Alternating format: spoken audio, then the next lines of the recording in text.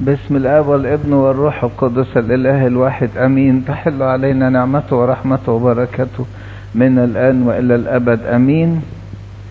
آه، المرة اللي فاتت نشكر الله كنا خلصنا آه، ال- القصة بتاعت إقامة ابنة ييروس وشفاء نازفة الدم. وده كان ال- الملف اللي إحنا بعتناه على الجروب بتاع ذهبي الفم. ورقم سبعة وخمسين.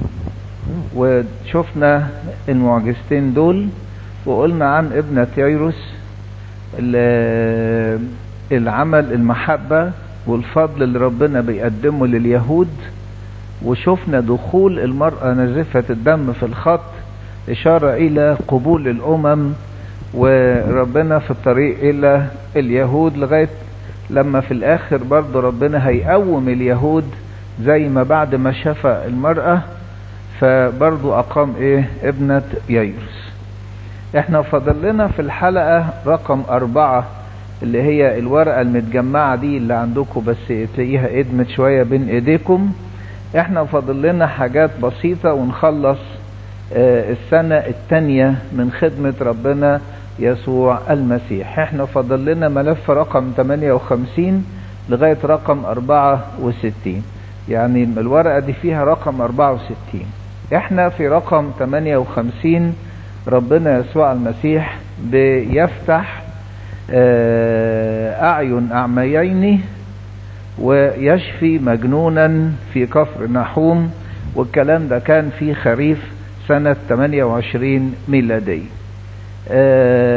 كان المرة اللي فاتت أنا بحب دايما أنزل لكم الملف القديم كان إقامة ابنة ياروس وشفاء نزفة الدم. ليه بنقول هذا الكلام؟ لأن معلمنا آه، متى بيقول فيما يسوع مجتاز من هناك تبعه أعميان. مجتاز من هناك تبعه أعميان ويعني هو بعد ما خلص إيه؟ خد بالك هو كان في بيت لاوي في الوليمة اللي عملها له متى. وبعد كده جه ييروس رئيس المجمع خده من بيت لاوي راح على بيت ييروس عشان يقوم بنته. في النص شاف نازفة الدم وبعد كده راح قوم ابنة ييروس. خارج من بيت ييروس فيقول تبعه أعميان يصرخان يبقى فيما هو مجتاز من هناك هناك دي إيه؟ من بيت ييروس بعد ما أقام ابنته من الموت. فيما يسوع مجتاز. من هناك تبعه أعميان يصرخان ويقولان ارحمنا يا ابن داود. ولما جاء إلى البيت تقدم إليه الأعميان فقال لهما يسوع أتؤمنان أني أقدر أن أفعل هذا؟ قال له نعم يا سيد. حينئذ لمس أعينهما قائلا بحسب إيمانكما ليكن لكما. فانفتحت أعينهما فانتهرهما يسوع قائلا انظرا لا يعلم أحد. ولكنهما خرج وأشاع في تلك الأرض كلها وفيما هم خارجان إذا إنسان أخرس مجنون قدموه إليه فلما أخرج الشيطان تكلم الأخرس فتعجبت الجموع قائلين لم يظهر قط مثل هذا في إسرائيل أما الفريسيون فقالوا برئيس الشياطين يخرج الشياطين. قبل ما نخش في, في الكلام في المعجزة دي ناخد بالنا إن في معجزة عبارة عن نسخة من هذه المعجزة حدثت وحكى عنها معلمنا متى في الإصحاح العشرين. يعني لو الأخت نيفين تفتح لنا على الكتمارس متى عشرين هنلاحظ الحكاية دي. يعني في متى عشرين والعدد واحد وعشرين بيقول الكتاب إيه؟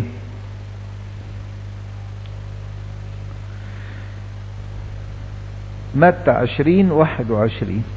آسف تسعة وعشرين. تسعة وعشرين.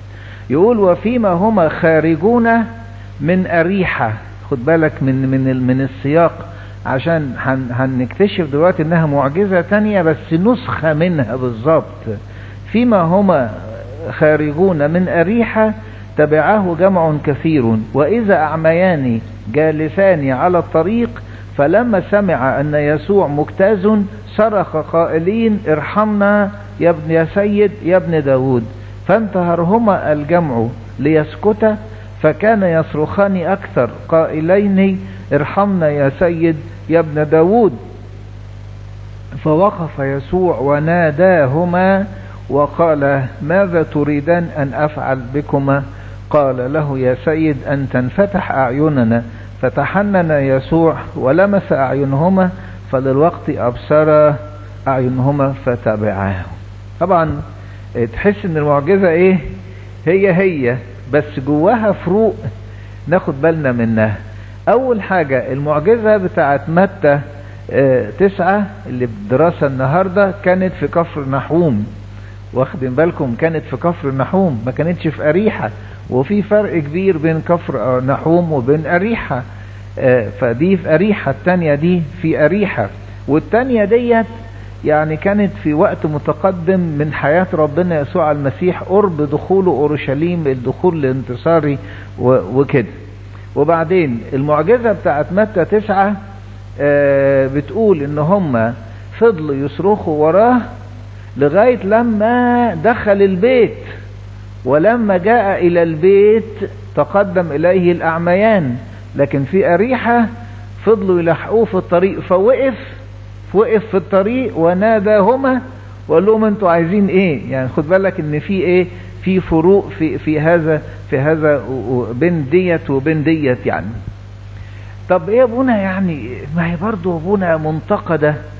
إن إحنا آه نلاحظ يعني إن حاجات بتتكرر ب ب بالنص يعني مش ممكن يكونوا البشرين يعني عشان يكررها تاني غلط فكررها تاني فحب يغير الموضوع. أقول لك لا القصة ما بتجيش كده خالص.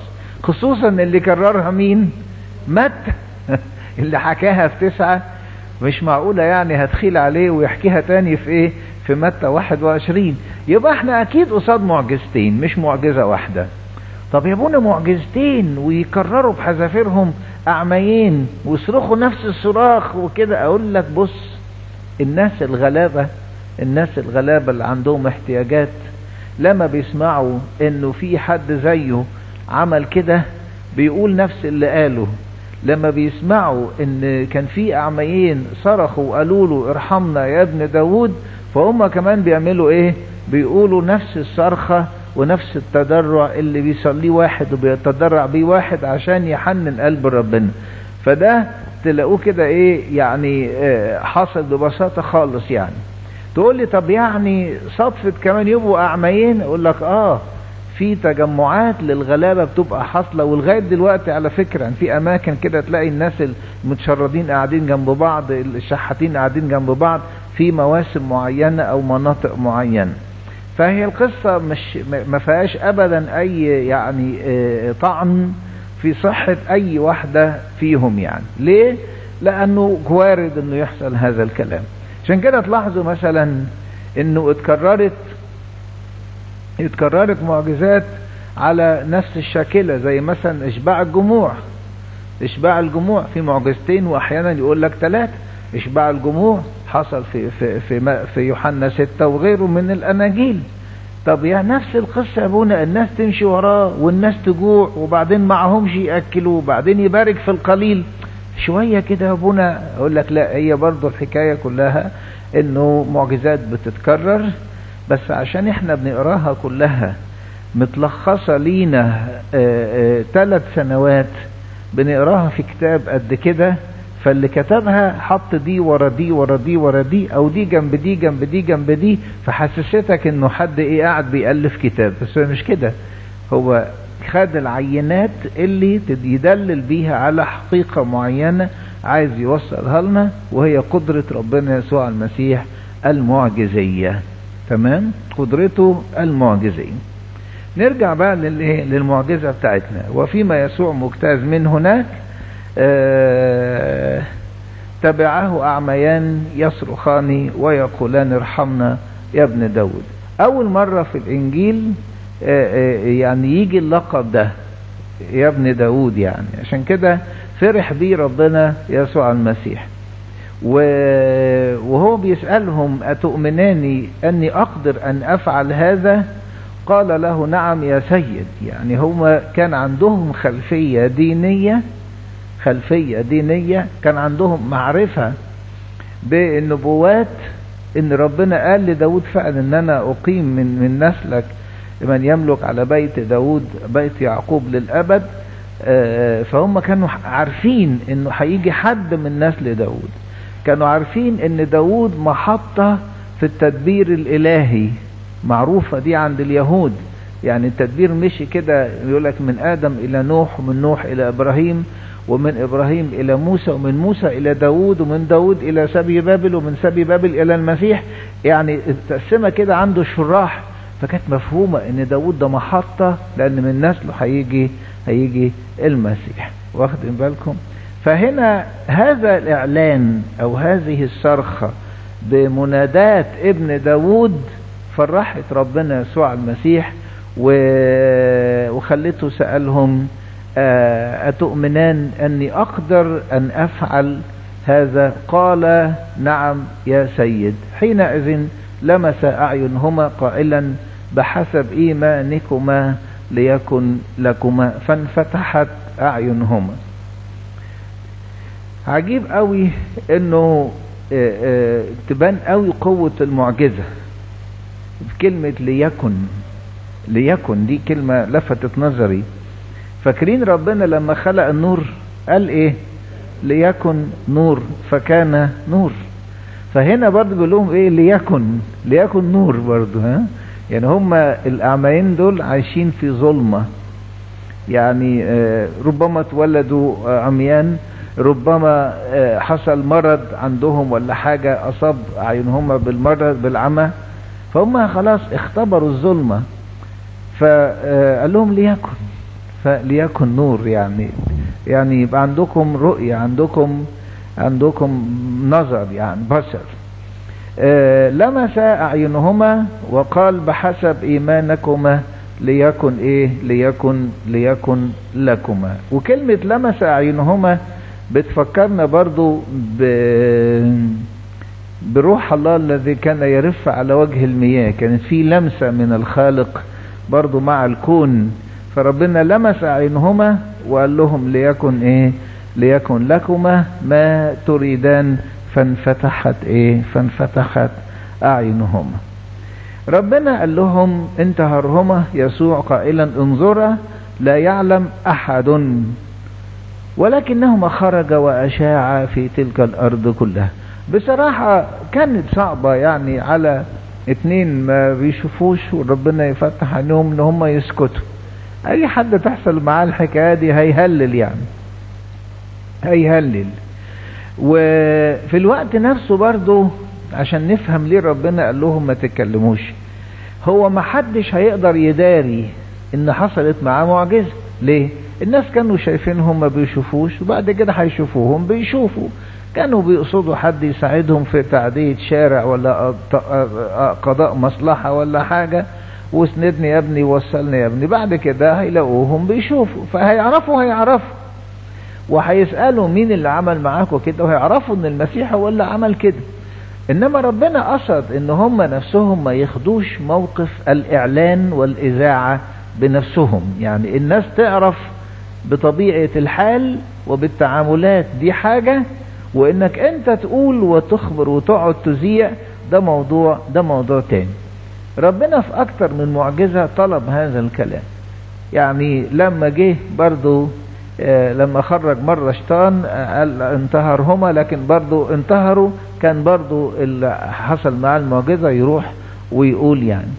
هو في الحقيقة في نقطتين يعني قدرنا نوصل لهم في الموضوع ده.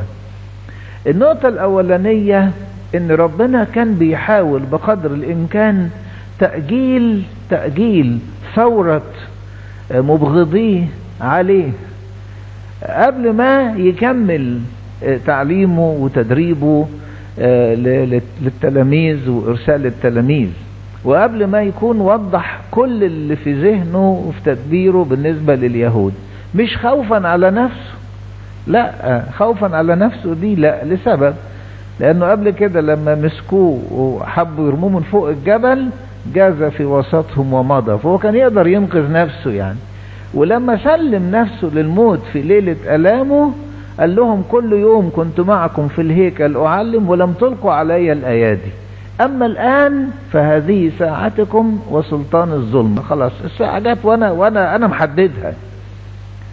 وقال لي بيلاطس في المحاكمة قال له لم يكن لك علي سلطان البتة قال عن نفسه قال كده لي سلطان أن أضعها ولي سلطان أن أخذها أيضا. فقصة أنه خايف على نفسه دي مش حاصلة.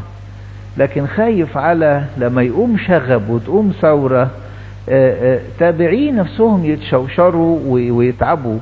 وممكن قوي يعصروا في الطريق وممكن قوي بسبب الخوف والجزع يرجعوا عن إن هو يعني يتبعوه يعني.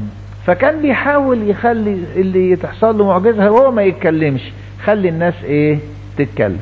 خصوصا إنه إرسالية التلاميذ النهائية ما كانتش لسه جت. يعني ربنا تجول أو طاف في الجليل ثلاث مراحل على ثلاث مراحل. واخدين بالكم؟ المرحلة الأولى كانت على استحياء كده عمال بيختار تلاميذ. المرحلة الثانية لف بيهم. المرحله الثالثه بقى اللي هناخدها الملف اللي بعد كده اللي هو فيه بقى الإرسالية اللي قال لهم فيها بقى لا تحملوا أحذية ولا ثوب ولا عصا وروحوا وأي مدينة دخلتموها كلوا مما يقدم لكم وأي مدينة دخلتموها اخرجوا خارج شوارعها وانفضوا الغبار وبتاع. والمدينة اللي ما تسمعش منكم لها يعني سدوم معمورة لها حال أكثر احتمالا. فكان ربنا مستني الإيه؟ الخطوة الأخيرة دي. اللي فيها يكون كمل تعليمه وكمل تدريبه فاطلق الإيه؟ آه الكرازة. فهو كانش حابب إنه يحصل شغب أو ثورة من مبغضيه يعطلوا الناس عن الإيمان أو عن تبعيته. وفي سبب تاني إن ممكن قوي يكون في أهداف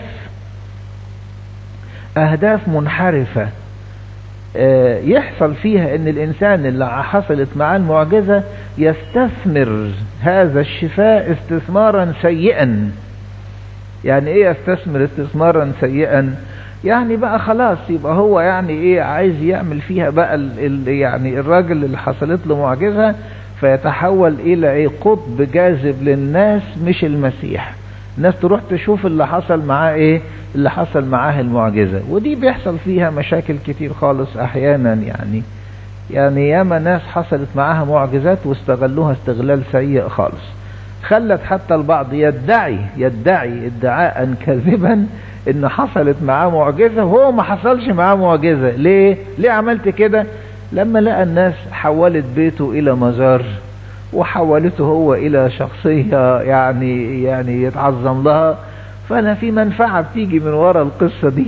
أنا أعرف واحد مرة ادعى كده وكان غفير في كان غفير في في أرض بتتبني لسه يعني قاعد بيحرس الأسمنت والحديد وبتاع وبيبات في عشة كده يعني. وبعدين صرخ الصبح عندي النتيجه بتنزل زيت. نتيجة معلقها بتنزل زيت. هو عارف إن الناس بتصدق. نتيجة بتنزل زيت. والناس رايحة جاريه بقى. النتيجه عمالة تنزل زيت. حاجة غريبة قوي يعني. وإيه راح عمل لها بقى؟ ستاره وبتاع وبقت مظاهر يعني. وبعدين في واحد شقي كده لئيم وقف جنب الصورة بزعم إنه بيتصور جنبها وراح عمل الستارة كده. لا حاطط إزازة زيت مقلوبة وخارمها. وعمالة تنقط زيت يعني متنفعش فالمسيح خايف من استثمار ديت والأمر لا يخلو من الغرور ومن محاربة الذات. فمش عايز معجزة تبقى سبب في إن هذا الإنسان يستثمرها استثمارا سيئا. أنا طبعا مش بجزم بحالة قلب هذا الإنسان إنما بقول إن ربنا ممكن ده يكون في باله على أساس يمنع عن الإنسان فرصة إن هو يستغل حاجة يعني مش مظبوطة يعني استغلال سيء يعني. وياما ناس يقول لك أنا أنا أنا عابر وأنا دخلت المسيحية ويستغلوا هذا الأمر ياخدوا فلوس من الناس وحاجات كتيرة مش عايز أدخل فيها. فقصة مش لذيذة يعني. ربنا قال لهم ما تتكلموش ما تتكلموش. وسمح للبعض إنه يروح يقول واخدين بالكم يعني الأعميان بتو... يعني الاثنين بتوع كورة الجدريين لما بواحد بيقول له أتبعك قال له روح بشر في روح قول للبلد اللي انت فيه. فراح يتكلم في البلد قال له روح قول. وابرص يشفي المسيح يقول له روح قول للكاهن. يعني المسيح له رؤية إيه؟ لقلوب الناس. فبيقول لكل واحد التدبير اللي ينفعه يعني. آه انظر لا يعلم أحد. لا يعلم أحد. ولكنهما خرج وأشاع في تلك الأرض كلها. طبعا هنا كان ينبغي الطاعة. يعني مفيش حاجة يقولها المسيح وواحد يعمل حاجة تاني يعني. آه طب الغلط في إيه يا أبونا؟ ما المعجزة مش هتدارى قلت لك في الأول في فرق بين إنه الناس تعرف إن دول حصلت معاهم معجزة ولازم هيعرفوا. وبين إن هم يروحوا يقولوا إيه ده حصل معانا واحد اتنين تلاتة أربعة. ما, ما ينفعش هذا الكلام. بلاش بلاش حكاوي يعني. وفيما هو خارجان. يعني خلاص كل ده تم في البيت لمس أعينهما فانفتحت. قال لهم ليكن لكما فانفتحت. قال لهم ما تقولوش لحد. فخرج. خرجوا يقولوا. وهم خارجان. إذا إنسان أخرس مجنون قدموه إليه. أخرس ومجنون. هم الناس شايفينه إيه؟ أخرس ومجنون.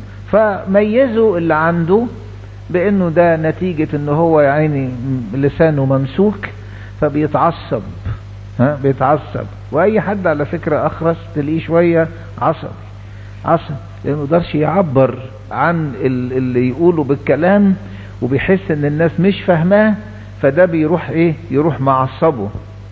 فالناس قالت إن ده عشان هو أخرس فتعصب لغاية ما بقى إيه؟ مجنون. شوف هنا في معجزة. يقول الكتاب إيه؟ لما أخرج الشيطان تكلم الأخرس. هنا هنا مش معجزة شفاء بس ده في هنا سلطان على الأرواح الشريرة. شوف ربنا ميز إن اللي عند الراجل ده مش مجرد إصابة عضوية لسانه لأي سبب اتمسك لا ده ده في شيطان ده في شيطان فربنا يسوع على طول يميز هذا الأمر ويحل المشكلة من جدرها. الشيطان اللي عليه هو اللي مخليه أخرس ومجنون. فلما ربنا أخرج الشيطان تكلم الأخرس. وتبص تلاقي إيه؟ تكلم الأخرس وما جابش سيرة الجنان. واخدين بالكم؟ ما جابش سيرة الجنان. لأن هو في الحقيقة هو في الحقيقة الشيطان هو اللي كان عامل له المشكلة. مشكلة في لسانه ومشكلة في عقله. فلما ربنا خرج الشيطان أخلص يتكلم ويبقى طبيعي جدا كمان إنه عقل وبقى كويس وتفهم مع الناس وخلصت الحكاية خالص. لما أخرج الشيطان تكلم الأخرس. فتعجبت الجموع. قائلين لم يظهر قط مثل هذا في إسرائيل. ما شفناش اللي بيحصل ده. في إسرائيل. إن حد يكون بيمشي كده ومنين ما يمشي كده عمال يعمل معجزات. يخرج شياطين يستدعيه قائد المئة يقوم له غلامه عن بعد. ييرس يقول له تعالى معايا يروح معاه. في الطريق كده تقابله واحدة نزيفة دم تلمس هود بطوبه تشفى من نزيف الدم. إيه ده؟ إيه الراجل ده؟ إحنا ما شفناش هذا الإيه؟ هذا ابدا في إسرائيل. تعجبت الجموع تعجبت الجموع. أما الفريسيون الفريق بقى الإيه؟ الفريق المناهض بقى للموضوع فقالوا برئيس الشياطين يخرج الشياطين. نفس الكلام اللي اتقال لو تفتكروا برضو قبل كده لما يعني برضو أخرج شياطين قالوا بعل زبول رئيس الشياطين والكتبة يقولوا معه شيطان. هم خلاص واخدين على إن هم ما تنفتحش بصائرهم أو بصيرتهم على العمق الإيماني فينتفعوا لا هم على طول حاكمين عليه أنه برئيس الشياطين يخرج الشياطين. فربما بسبب وجود الفريسيين ده اللي خلى ربنا يقول للأعميان ما تقولوش لحد لأن هم قاعدين باصين له وبيراقبوه فمش عايز ربنا يهيج الدنيا عليه لكن هم برضو أصروا على إيه؟ أصروا على موقفهم. ده يعني جزئية أولى اللي درسناها النهاردة. نختم ده باسم الآب والابن والروح القدس.